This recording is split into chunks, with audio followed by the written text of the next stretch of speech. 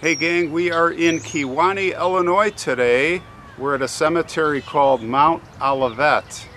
I want to give a little shout out to one of our viewers, subscribers, Ryan Schmidt, who suggested this story. Did not know about this story. I knew about the overall background of it, but you're going to find this very inspiring, very, very interesting. Anyway, you know, going back when we were kids, many of us, I mean, we, I think almost all of us had our dreams of what we wanted to be when we grew up. Little girls, right? Many of you thought, well, I want to be a nurse, or I want to be a movie star, or maybe today, I want to be the leader of a country, I want to be president. And us little boys, I know I wanted to be a, a choo-choo train engineer, actually that big diesel engine or many boys wanted to be, of course, firemen, policemen. Well, we're going to talk about a little boy today who wanted to be a policeman. Now, some of these children, they were never able to realize their dream. They never had a chance. They were terminally ill, and many of them, of course, passed and never got to, to make their dreams. So there was an organization that was formed many, many years ago. I'm sure many of you have heard of it called Make-A-Wish. It's a foundation that is designed to try to fulfill dreams for the little kids that, that didn't make it or can't make it. And they do a great job. And you, although you can't, they can't fulfill the dream completely, they do the next best thing and we'll talk about that. We'll talk about this little boy. He was one of those children, but even within that, he he was different. And well, let's take a walk. We'll go to his grave. His name his name was Christopher James Greicius. His mom and him lived in Scottsdale, Arizona. Were having a great life. Everything was going fantastic. And of course, Chris dreamed of being a policeman. Someday he was going to become a police officer. He really looked up to cops. Now, they had a family friend there. His name was Tommy Austin, and he was a U.S. Customs agent. And he developed a special friendship with Chris. It all started when Tommy came over for the first time. He walked in the front door and all of a sudden he heard this voice, Hey, you, freeze, stick 'em up. It was little Chris. so Tommy put his hands up and, okay, I surrender. I need to search you for contraband. So he Little Chris patted him up and down to make sure that there wasn't any weapons or any stolen goods that Tommy had. And after he was satisfied, he reached out his little hand and he said, Hey, hi there. My name's Chris. Well, from then on, there was a special friendship developed. And of course, in the end, it didn't take long for little Chris to look up to Tommy. Tommy really inspired him. They would play cops and robbers, if you will. Of course, Tommy would play the bad guy and Chris would play the policeman who always wanted to catch the bad guys. And Chris would chase him in his battery powered three wheeled motorcycle.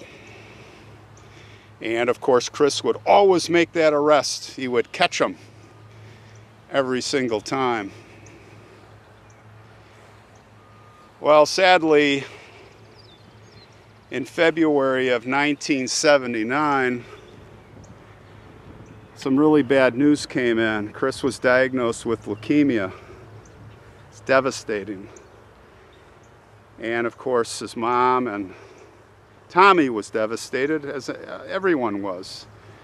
And Tommy got together with his fellow officers, public safety folks, and they said, We've got to do something. We've got to do something special for Chris. He's not going to make it. Doesn't look good.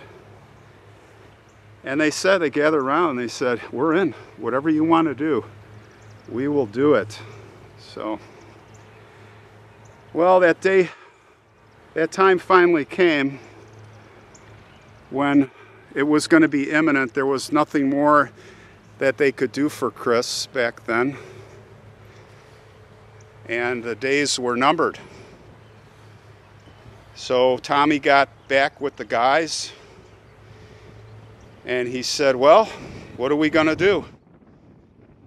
And they said, Well, one of the guys who was a helicopter pilot said, I'll give him a ride.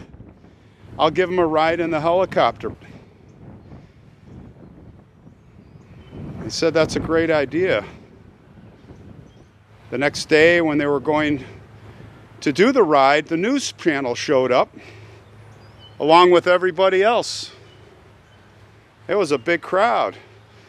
So they took him up in the ride. He rode the helicopter and they landed at the Department of Public Safety in the parking lot there. Went inside, he got a tour of the place, and he was high fiving everybody. It was fantastic. He had the biggest smile, little Chris. They had a little uniform for him. Lieutenant Colonel Dick Schaefer pinned a badge on his chest and then swore him in.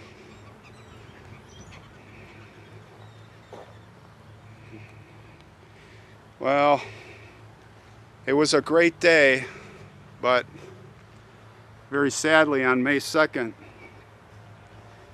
Chris told his mom, he said, Mommy, I don't feel so good. I don't feel so good. And the next day he passed away.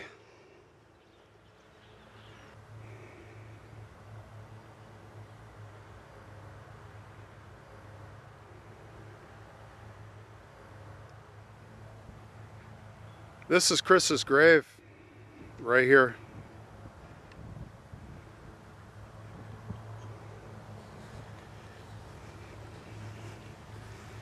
Christopher James Greicius.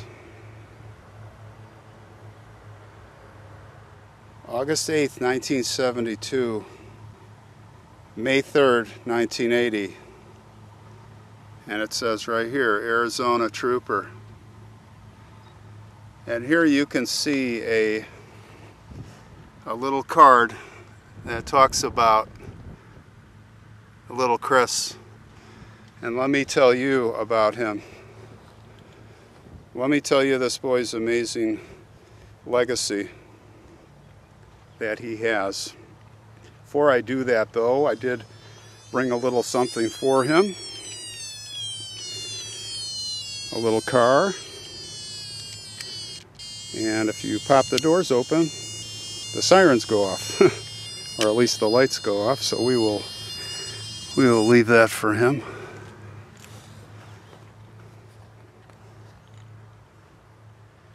They had the funeral out here, of course, and there were a lot of people. And not only were there a lot of people, but there were a lot of policemen here because they gave Chris a full policeman's funeral. The word went out, man. It went out to everybody, far and wide. Realizing Chris's joy at receiving his wish, his mother Linda worked with others to start a wish granting organization. And by January of 1981, the Greicius Make-A-Wish Memorial, it was founded. And the non-profit memorial later became the Make-A-Wish Foundation. That's right, folks. This is the reason. Chris is the inspiration for the Make-A-Wish Foundation. And by the way, if this story touches you, which it does me very deeply, there is an episode on it with his mom and those people, and I will put the link in the description box below.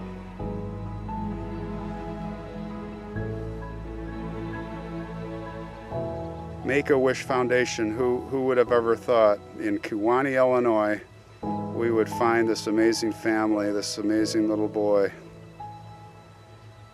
Rest in peace, buddy. Our Arizona trooper.